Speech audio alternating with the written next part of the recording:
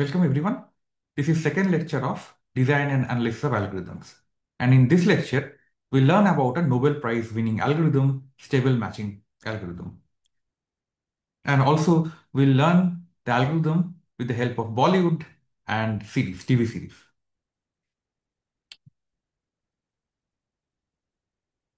So let's start with the problem definition. In stable matching problem, we are given two sets. On the left side, we have n men, m1, m2 up to nn, mn. And the right side, we have n women, w1, w2, wn. Each men has their own preference list and ordering of women according to their preference. It's a complete order. And each woman similarly has their own preference list, her ranking of men according to her preference. And our goal is to match men and women into n couples such that these pairings are stable. So we'll define what is stable, but let's start with an example. In this example, there are three men, B, M, and T. Let's say Bernie, Marshall, and Ted. I'll write B, M, T. And they have their own preferences of women. There are three women. Let's call them Robin R, Lily L, and Christian C. So each one has their own preferences. Bernie's first preference is Christian, second is Lily, third is Robin, and Marshall has other preference, maybe first Robin, second Christian, and third Lily, and so on. And we need to find a match, a couple, three couples, a matching of these people, which is stable. So none of the uh, the pairs um, would like to break it and elope with some other pairs. So to, to explain what is unstable, now let's go to some Hindi Bollywood movie examples. So this example is from a movie, Kabhi Alvida Na Kehna. In this movie, Shah Rukh, S and Preity, they are matched. They're a couple and Abhishek, A and Rani R, they're also matched, another couple. In the preference list, Shah Rukh has first preference for Rani, second is Preity. In Rani, it was first preference is Shah Rukh, S, and second is Abhishek. In this case, if we represent this pre these preferences, let's say the dark bold line, green bold line, it represents the top preference, and the lighter one, dashed line, it uh, represents the second preference. So we see that Shah Rukh prefers Rani over its current match, Preity. Similarly, Rani prefers Shah Rukh over its current match, Abhishek. So this is an unstable player pair. In this case, this will break and Shah Rukh and Rani will form an edge and that's called instability. The original matching, matching SP and AR was not a stable matching. Whereas if I match SR and AP, that's a stable matching because now they will not elope with each other. Formally, a matching is stable if it is perfect. So every vertex is matched so if there are n cross, in, in, graph theory, theoretic terms, we have a bipartite, complete bipartite graph. One side has n vertex, other side also has n vertex. And all of these n vertices are matched with some other n vertices on the right side. And there is no instability. And instability is the case when there are two edges in the matching, mw and m prime w prime, such that m prefers w prime over its current partner w, and w prime prefers m over its current partner m prime. So we're not talking about m prime and w prime. We just, we are talking about two people, m and w prime, who are in different pairings right now, and they prefer each other over their current pairing. In this case, it's an unstable pairing and the matching is not stable. We saw the example in K and K. Now let's go to the example of this where we have preferences of men and women, and we want to check which matchings are stable. So let's start with an assignment where Bernie is matched with Robin, Marshall with Lily, and Ted with Christian. Now, is this stable? If we see in this matching, in this case, all the girls, they are getting their top preferences. So Robin is getting her top preference, Bernie. Lily is getting her top preference, Marshall and Christian is getting her top preference Ted. So there is no reason for the, any of these women to deviate, to form another partnership. So this is a stable matching.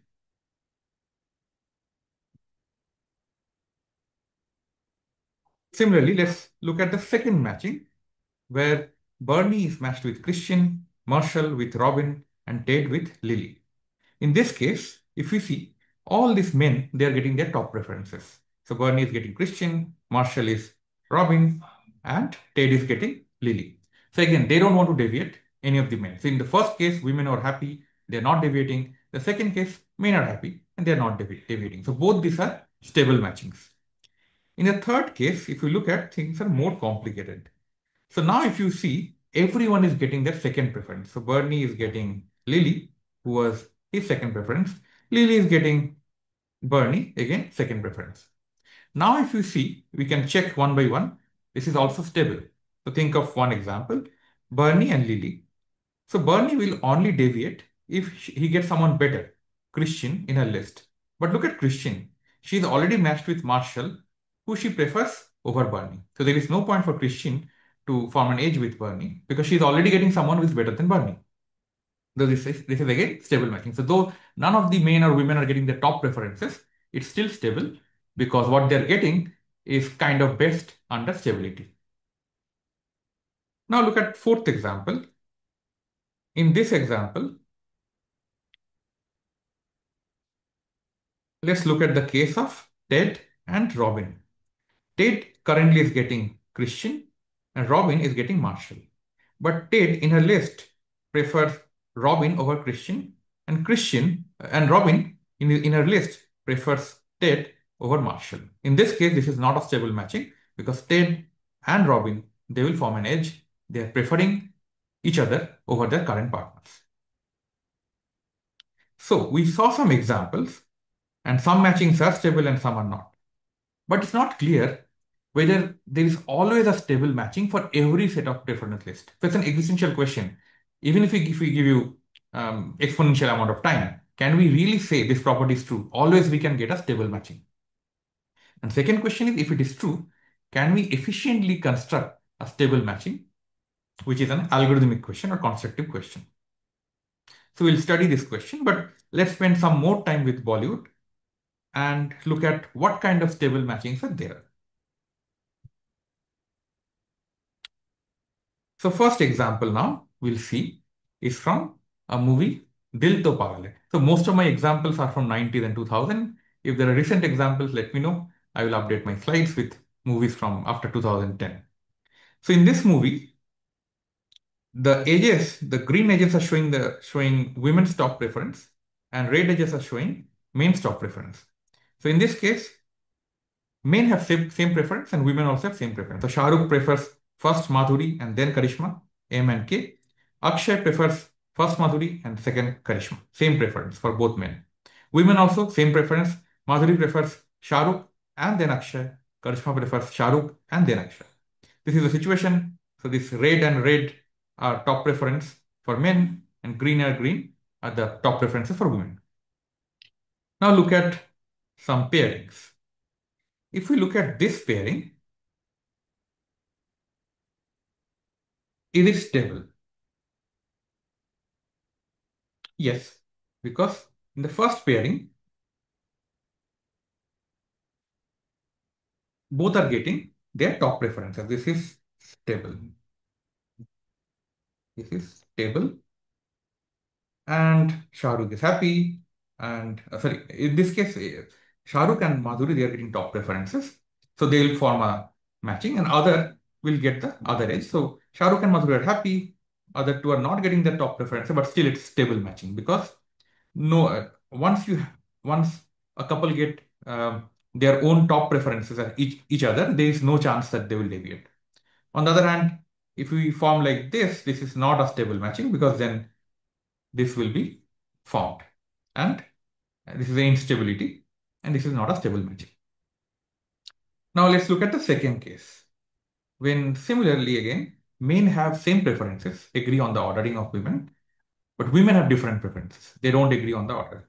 So this is the example from movie Raanjhanaa, where Akshay, um, uh, Abhay Deol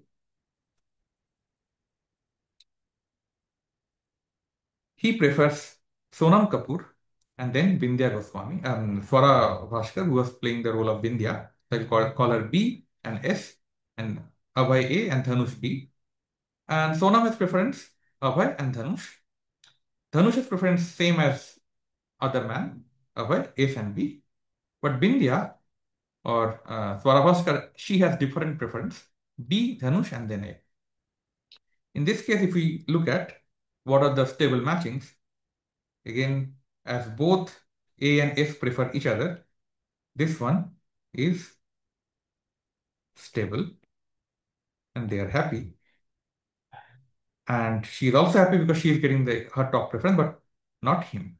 So almost everyone is happy. Whereas if this, this was the case, then this is not stable. So in both the cases, we found there is a unique stability.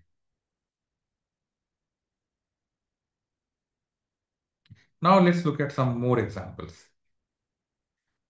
When men have different preference and women also have different preference, but they align. So traditional Sanskari movie, Hum Saath Saath Hai.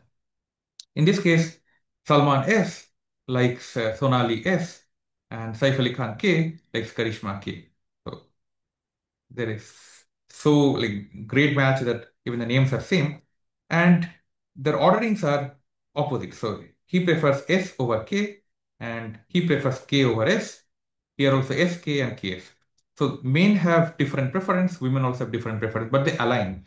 Whoever is, is top preference of Salman, the same person is also top preference. Um, the, uh, for the same person, he is also the top preference. So now if we look at, this is a great situation because now all are happy, happy, happy, happy, happy, and stable. On the other hand, this is not a stable situation. And finally, we'll see the last example, which is from a movie, Style. Now, men have different preference. So there is, this is a movie from, I think, early 2000.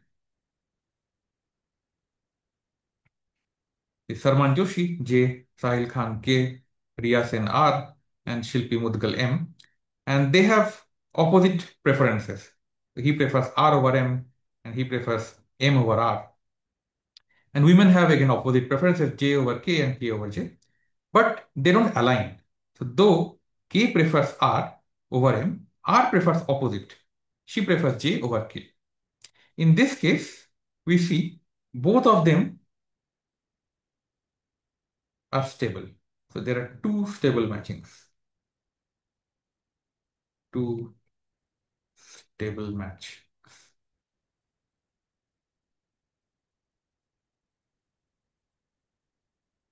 And in this case, what is happening is in, in the first matching, the men are getting there, women are getting there.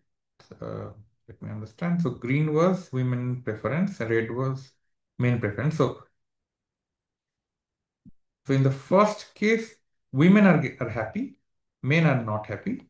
The second case, men are happy, women are not happy. But still, both are stable. There, there is no way you'll deviate because at least one side is getting the top preference. So that, that side will not change their current pairings. So this shows the case when um, um, there are two stable matchings. In all three previous cases, there was only one stable matching. So we saw the stable matchings and now we have to check with the algorithm. And in the in the first approach, we'll start a heuristic called local search. So we start with any arbitrary assignment and then we greedily perform exchanges to resolve instability. That's kind of the simplest algorithm one can start with. So in this case, let's say we have a situation where there is three men ABC and three women QRS. And this is the preference order. Red shows the preference of men. So first preference for A is R, then second one is Q, and third one is S. Similarly for women, Q, first preference is A, then B, then C, second, prefer uh, second preference, and three is B, third preference. So we start with some assignment where we have AQ, BR, and CS. Is it stable? No. If we see, look at A and R. Currently, A is getting Q. But Q is second preference. It prefers R over Q. On the other hand, presently R is getting B, which is third preference. And it also prefers A over B.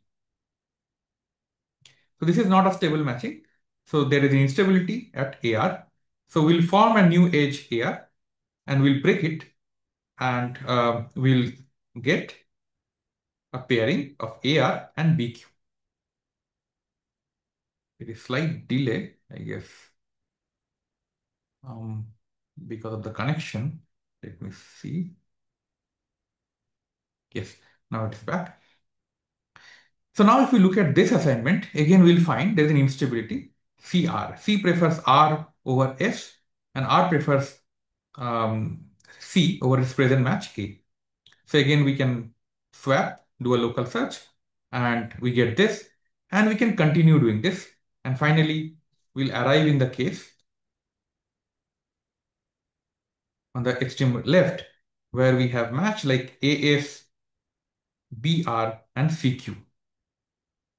And in this case, again, we'll see an instability at AQ. And then we are back to square one. We'll again get the first, first case. So this, this shows an infinite loop. So this algorithm does not work.